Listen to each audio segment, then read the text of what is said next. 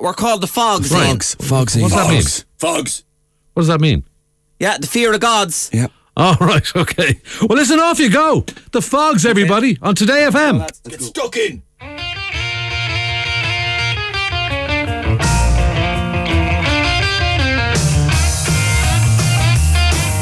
Yeah. That's great, Paulie. Manic aggression, Rog. The other day in Paris down in Stade de France. Look for all the world like we blown our chance. To lose a game we should have won, what a crime. That's the way it was going into injury time. Then Conor Murray got the ball the final play.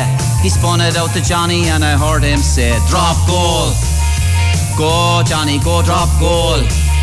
Go Johnny, go drop goal. Go Johnny, go drop goal. Go Johnny, go drop goal and Johnny be good. Hit it, Rog. 83 minutes and it led to this. Johnny ball in hand knew he must not miss. All the forwards, all the backs had played all their cards. Now Johnny stood alone from 42 yards. I heard the French were laughing, rolling out of the malls. What they didn't know was Johnny had balls. Drop goal.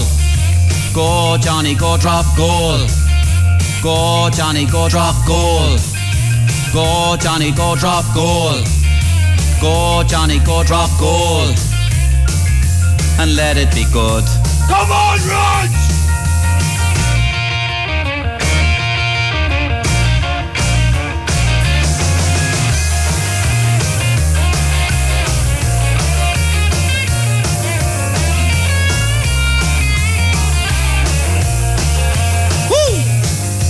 The pitch was really muddy and the ball it was wet. It was the hardest bloody kick that you ever could get.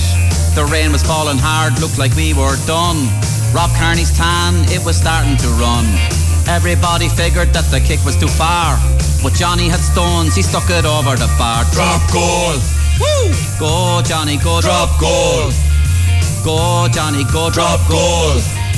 Go Johnny, go drop goal. Go Johnny, go drop goal. And Johnny was good.